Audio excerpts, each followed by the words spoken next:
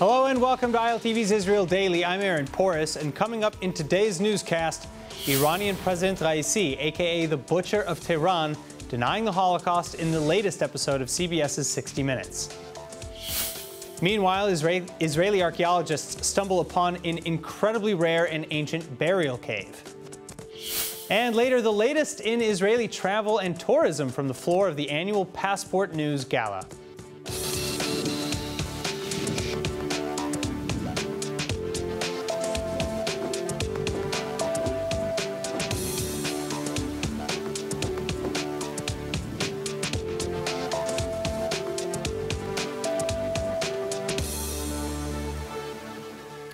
Incendiary comments on CBS News' famous 60 Minutes as Iran's President Raisi denying the Holocaust and rejecting Israel's right to exist. Do you believe the Holocaust happened? That six million Jews were slaughtered?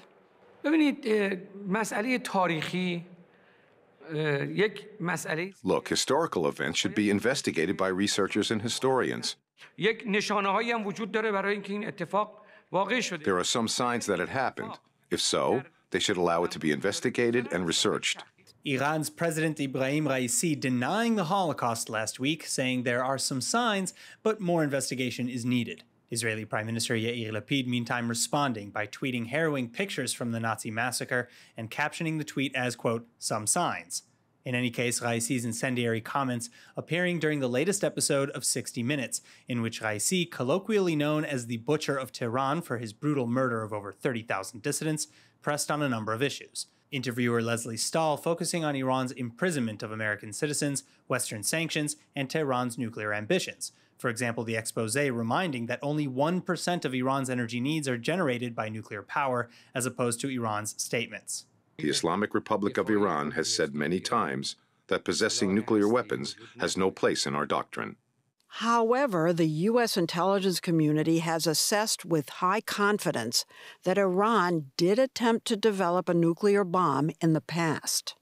Additionally, as with the Holocaust denial, Stahl questioning Raisi's anti Semitic beliefs, the president saying that Israel has no right to exist and that every Arab state that is normalized with Israel through the Abraham Accords is stabbing the Palestinians in the back. Following up with his response, then Prime Minister Yair Lapid turning his attentions to the United Nations, where Raisi is set to address the General Assembly in New York. Lapid calling on the UN not to platform the so called butcher of Tehran's hateful rhetoric on the global stage.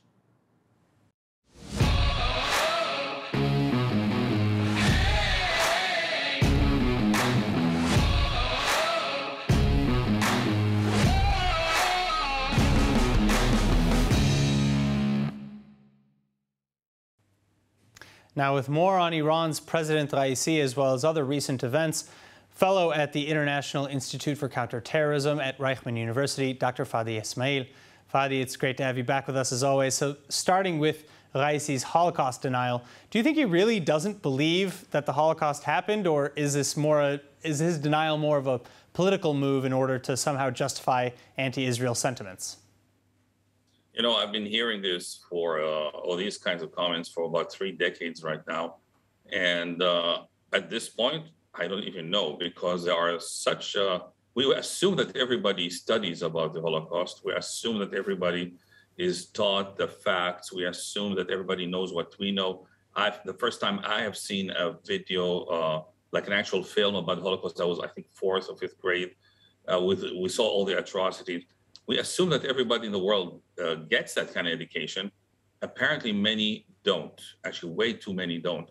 So either it is uh, some kind of uh, ignorance, I don't know. But what I can tell you for sure, it is willful ignorance because once you grow up, there are so many opportunities to learn, to know, to study, to uh, develop. And the Holocaust is ever present in everything in modern uh, culture so somebody like Raisi, who is not, uh, uh, is an, uh, a very educated person, and he read many books in his life. In his life, he knows a lot about history. Uh, I find it hard to believe that it is not some kind of a willful acceptance of conspiracy theories and of all forms of either Holocaust denial or Holocaust minimizing. I mean, there's also this trend that is in the middle. It is not really denial as such, but it is also an attempt to uh, to dilute the meaning, both right. the dimensions and the meaning, the significance of this, uh, is, as he said, historical event, as if it's an event, uh, not understanding it's actually the culmination of 2,000 years worth of, of propaganda and, and hateful uh, uh, history. So uh, whether it is flat out denial or whether it is an attempt to dilute the importance, of course, there's a political dimension sure. to it because the Holocaust, uh, in the end, is also a political player in a sense because it, it serves as as uh, an argument, if you will, or um, for lack of a better word, a backdrop to right. many uh, um, uh, historical claims by Israel and the Zionist movement. All right. Well, Prime Minister Yair Lapid responded to Raisi's 60 Minutes interview in part by calling on the United Nations not to provide Raisi a platform for, you know, quote, the butcher's lies. Should 60 Minutes have given him a platform to begin with, or do you think that the interview was fair? The interview was, in terms of, well, these are not opposites. The interview was fair in the sense that he had the chance to speak, to say whatever he thinks. And Lesley gave him all the opportunities. In that sense, it was fair in that sense. Uh, I'm, I'm kind of, I have an attitude that is all about freedom of speech and let's uh, uh, look at every argument so that we can uh, face it and we can confront it head on. Some people disagree with that, and I can see why. Some people say, no, we have to put limits to freedom of expression. I come from a school of thought, an American school of thought that says, let anybody, um, you know, make a fool out of themselves, and we are ready to confront and and uh, and respond. But I, I can see the counter argument that says, you know what, some people might take such nonsense and actually believe it. So that is that danger. Um, my, my heart is all on the side of freedom of expression. All right, well, now, now, the interview also called attention, of course, to his history as the butcher of Tehran and, and more recently, the murder of Mahsa Amini, uh, a woman who was beaten to death by Iranian morality police last week for not wearing her hijab properly. Uh, in the wake of her death, large popular protests have, have popped up calling for death to the dictator Khamenei, and women have been posting videos of themselves, of course, cutting their hair and refusing to wear the hijab altogether. How would you characterize the, the atmosphere in the streets of Iran right now and local support for the regime? Look, my colleagues that are busy following uh, the information coming from the streets of, of Iran in general, it's not only Tehran, by the way. Uh, we we hear things going all the way to the peripheral uh, parts of the country. Look, uh, the young generation, and I would say the not so young generation, is fed up with this so called morality police. Uh, nobody can police somebody else's morality. People have to make their own choices, definitely not what they wear and how they cover their hair and, things like that. Um, but what I am worried about is that the lack of support from the West.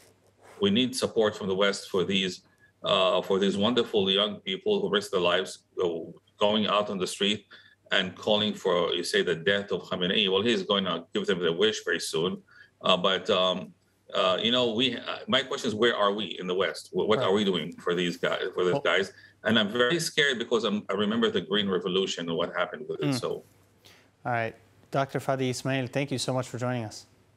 Thank you for having me. Have a great day.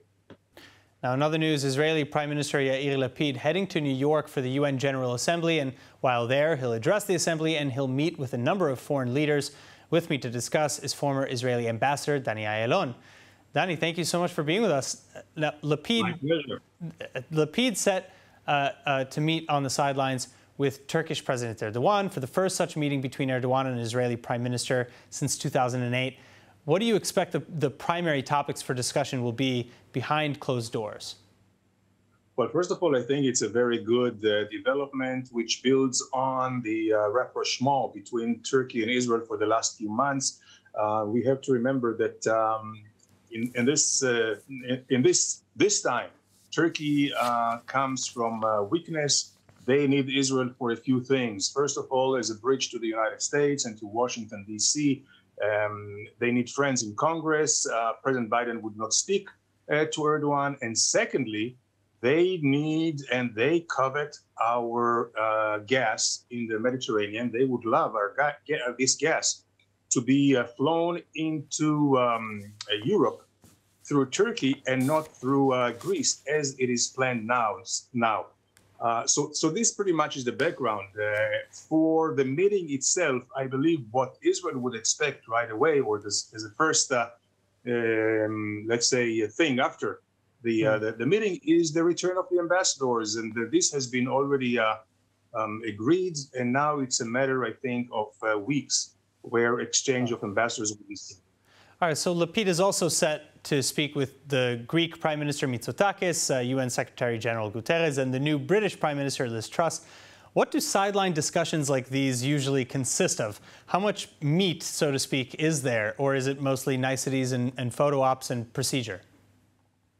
No, actually, the entire um, episode of the UN General Assembly is just uh, niceties. It's not a very important event. It's just a place to see and to be seen. Uh, empty words, uh, slogans in the General Assembly, no resolutions that um, you know worth even the papers that uh, they are printed on. So it is only important for those uh, sideline uh, meetings, and quite a few things can be um, discussed over there. Uh, first and foremost, for Israel would be, of course, to uh, um, you know shore up the um, coalition against Iran and uh, of course other bilateral things. So when uh, you meet other uh, um, heads of states, it's a real shortcut to get into some um, into motion some agreements, bilateral agreements that have been decided and not moved so fast. And it's also a show of uh, friendship, uh, alliance. Uh, sometimes even deals can be cut. You know, commercial uh, agreements, and, and many more. All right, now before Lapid set off to New York, the Israeli cabinet formalized funding for the Negev Forum. And on top of all the economic efforts that are outlined in the Negev Forum, as you suggested, uh, it, it is suggested that the forum is meant to display a united front against Iran. What do you make? What do, what do you make of this? And what do you think Iran makes of it, uh, particularly after President Raisi's recent comments about the Abraham Accords? Yeah, well, uh, Iran is in flagrant uh, violation of all UN, uh, I would say, uh, um, uh, resolutions of the of what all the agreements and treaties that they are signatory of. Uh, first and foremost is the NPT, the Non-Proliferation. I believe every everyone knows it by now. first and foremost, the United States. Hence, they have um, toughened their position vis-a-vis the um, agreement that was going to be uh, signed. I believe that the longer um, an agreement is not signed or the longer the sanctions persist, um, Iran is in a in a worst uh, in a worse place. Also, I think what I would advise um, all the countries in the world, but first and foremost the United States, not only to uh, continue the sanctions as they are, but to toughen them up. And mm. they can they have a lot of degrees to toughen it up. Look at Russia. All right, uh, Ambassador, uh, Ambassador Ayalon, thank you very much for joining us. My pleasure. Moving on, an ancient burial cave dating back some 3,300 years ago to the time of Pharaoh Ramses II, recently discovered in the Palmachim National Park near Tel Aviv. ILTV's Kayla Eberlin with the story. במהלך עבודות בגן לאומי פלמחים, בחוף פלמחים, עבודות של פטישון, נפער פתח של מערה מהתקרה. אנחנו ירדנו למטה, ומה שנתגלה בפנינו זה הממצא המדהים הזה. כמות גדולה מאוד של כלים תמימים. יש פה גם עצמות בקערות. אנחנו נדע כמובן לאפיין את הכל. During routine architectural work in Palmachim Park near Tel Aviv, a fallen rock revealing a vast array of artifacts from the late Bronze Age, including pottery, vessels with offerings, cooking pots, lamps, weapons, and other ceremonial works, dating back to the period of Egyptian rule in the area under Pharaoh Ramesses II, the same pharaoh who is thought to be named in the story of the Jewish Exodus some 3,300 years ago. And everything in the cave laid out exactly as they were arranged during what appears to have been burial ceremony. זה נראה קבורה לגמרי. נכון, נכון, נכון, נכון, הנה, הנה השלד. ויש עוד אחד פה. הנה השלד. Additionally, the space itself impeccably hewn from stone into a cubic form with a central supporting pillar. Dr. David Gelman from the Israel Antiquities Authority saying it's a once in a lifetime find. Uh, burial caves are rare as it is, and finding one that hasn't been touched since it was first used 3,300 years ago is something you rarely ever find. It feels like coming out of an Indiana Jones movie, just going into the ground and everything is just laying there as it was initially. After what seems like a lifetime of no traveling, intensive COVID testing, and just an overall terrible traveling experience, it seems like things are finally getting back to the way that they were. And to celebrate, Emmanuel Kadosh went to check out the annual Passport News Gala to hear from the industry leaders themselves. We are here at the annual Passport News event with some of the most important people in the tourism industry, both Israeli and international. Now, of course, the last couple of years this event could not be held, so everyone is really excited to be here to talk about the amazing summer that the tourism industry has seen and to have a great night. So let's get going.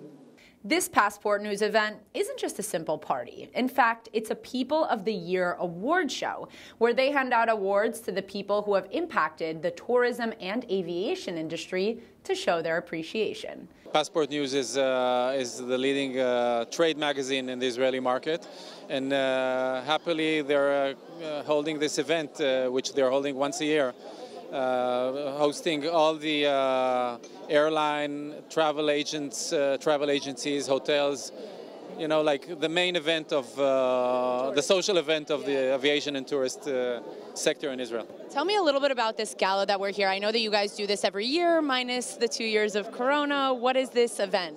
This is a, actually a gala evening that we do every year before the new year of uh, the Jewish people, and that we are uh, uh, inviting all the decision makers, the owners of the company, Minister of Tourism will join us in a few minutes. Ambassadors, there are almost 30 people from abroad that coming and with a big smile because after the two years, this is the minimum that we can do and to, to make all the industry together. No one seemed to have expected the crazy numbers that they saw post pandemic, giving these leaders just one more reason to come out and celebrate tonight. כמובן שאנחנו צריכים לעודד, להשתפר.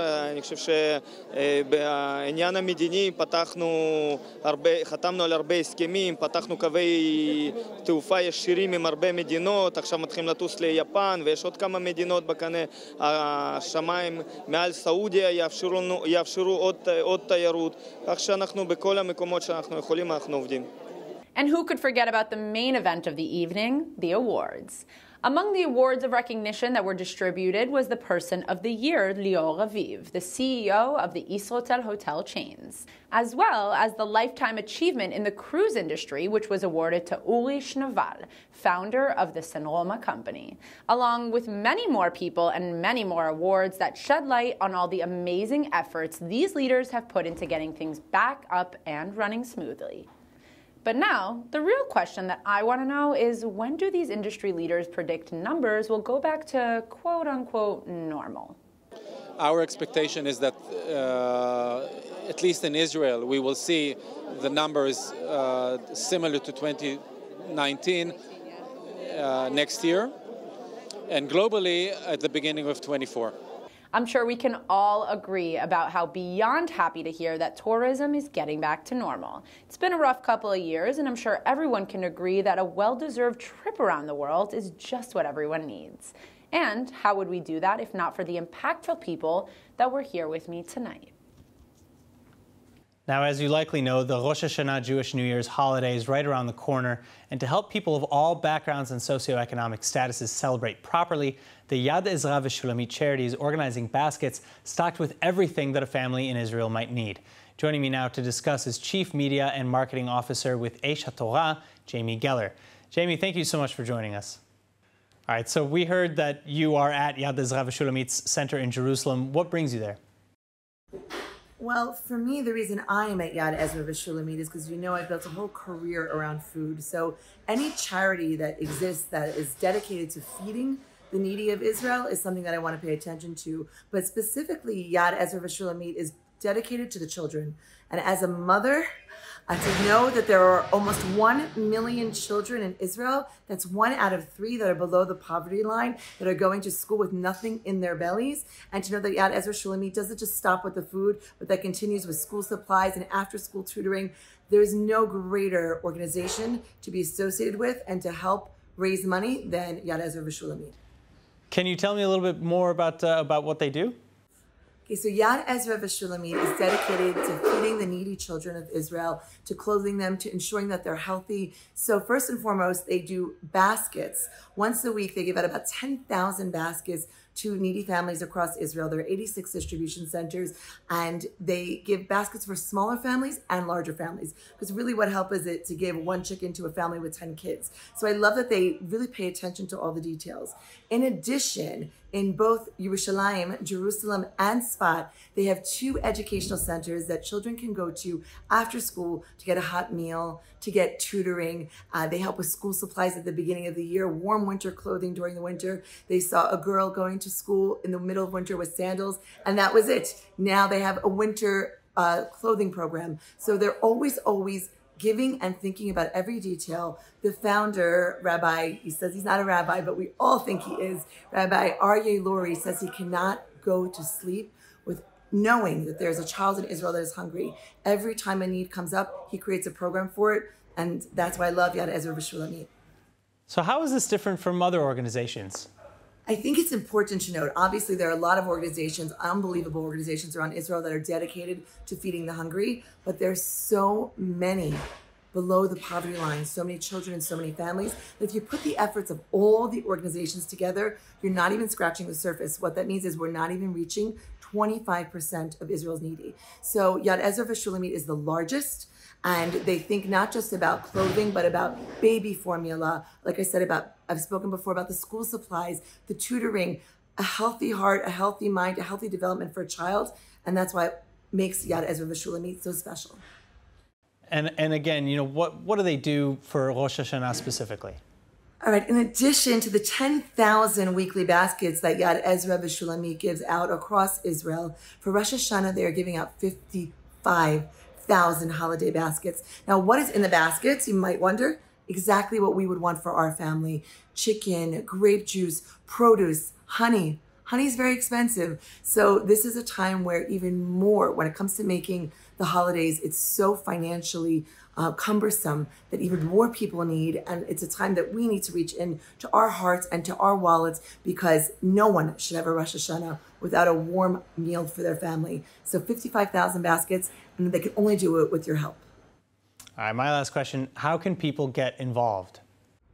Rav Aryeh Lurie, the founder of Yad Ezra V'Shulamit, says he cannot sleep at night knowing that there is a hungry child in Israel. These children are our children. This is Israel.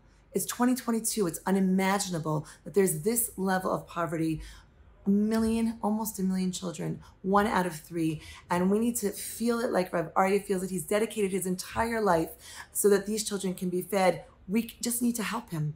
We just need to give. We need to care like he cares. If you feel the need to give just like I do, then please go ahead and visit yadezra.net slash ILTV. That's yadezra.net slash ILTV. Food baskets for a small family are $120, $150 for a larger family. Anything you give will be so appreciated. There are many other programs that we discussed. Please go and visit yadezra.net slash ILTV to find out more. And of course, if you're in Israel, you can come visit and volunteer and pack food baskets. We desperately, desperately need your help, both in Jerusalem and in Sfat. Jamie, thank you so much for joining us. Thank you so much. It's been a pleasure.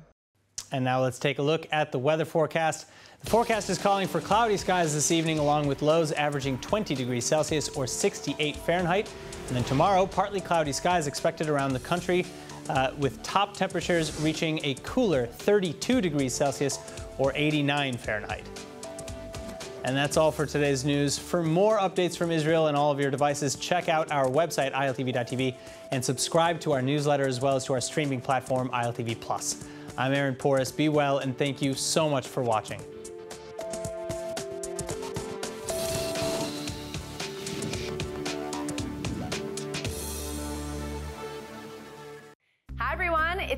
Kadosh. I wanted to invite you all to subscribe to ILTV Plus, where you can find our daily news and updates about Israel.